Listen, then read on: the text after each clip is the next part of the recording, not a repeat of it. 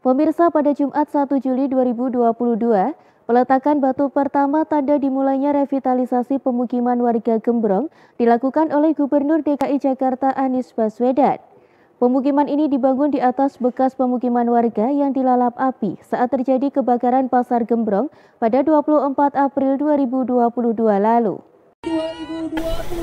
Jumat 1 Juli 2022 peletakan batu pertama tanda dimulainya revitalisasi permukiman warga Gembrong dilakukan oleh Gubernur DKI Jakarta Anies Baswedan. Pemukiman ini dibangun di atas bekas pemukiman warga yang dilalap api saat terjadi kebakaran Pasar Gembrong pada 24 April 2022 lalu. Anies mengatakan pembangunan kembali pemukiman warga korban kebakaran Pasar Gembrong akan mengusung konsep hunian daerah di tepian air atau waterfront city. Dari informasi yang diterima, Kampung Gembira Gerbong tak hanya membangun pemukiman warga, namun juga akan dibangun ruang terbuka ramah anak hingga lanjut usia.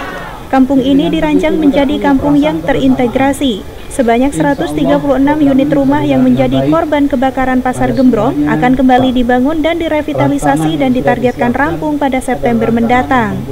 Anies menyebutkan pembangunan permukiman warga Pasar Gembrong tersebut menelan biaya hingga 7,6 miliar rupiah dengan sumber anggaran dari Basnas Basis Jakarta.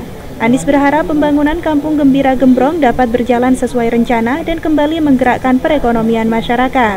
Kita tinggal bersama dan dengan begitu nantinya kampung ini bisa menjadi salah satu contoh kampung dibangun baru kalau bahasa Inggris namanya waterfront.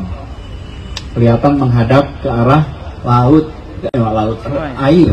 Airnya air su sungai. Dari Jakarta Timur, daerah khusus Ibu Kota Jakarta, Tim Liputan Madu TV mewartakan.